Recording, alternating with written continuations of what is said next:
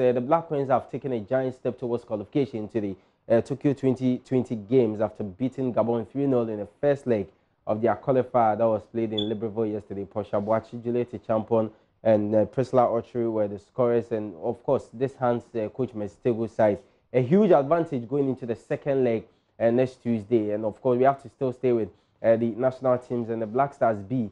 Uh, they've also stepped up preparations ahead of their participation at this year's uh, WAFU competition, which will be staged in Senegal, as well as uh, their CHAN uh, qualifier with Burkina Faso next month. Well, more local stories and Indiana Star CEO Albert Commey says the roadmap presented by the Normalization Committee has brought hope to football people. Now, there will be an extraordinary congress on September 5 to begin the process of getting uh, new executives to run the federation. Since we have a, we, we had a NC giving us the roadmap, it has brought a bit of hope. So we are looking at what they have for us in terms of the Congress and then the elections that will come and thereafter.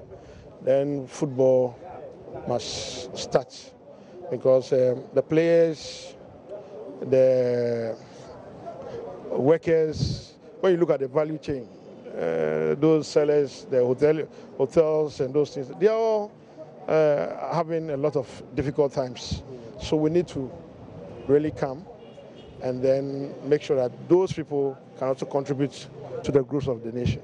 I'm Benedict Husu. Thanks so much for your company and uh, have a wonderful day. Enjoy the rest of the program after this short break. Don't go away.